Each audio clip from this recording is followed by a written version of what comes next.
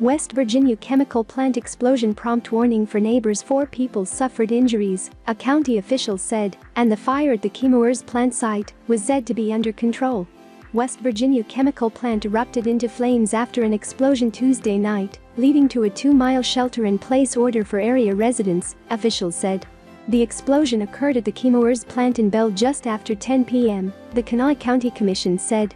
The company that owns the plant later said the fire at the site was under control. Four people were injured, including two plant workers, Kanawha County Commission President Kent Carper said in an email. The shelter-in-place directive was lifted early Wednesday after emergency personnel cleared the area, the commission said. There was a fire at one of the tenant companies at our site in Belle, West Virginia. Site responders worked to contain the fire, Chemours said in an email. It directed questions to another company that did not immediately return a voice message.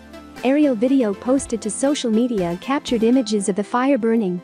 Governor Jim Justice tweeted that he has been briefed and that he and his wife were praying for the safety of everyone involved. School closings for Wednesday were announced by the county. Chemours formed as a spin-off from DuPont in 2015. The plant is along the Kanawha River in eastern Kanawha County. Belle, with a population of around 1,100, is southeast of Charleston.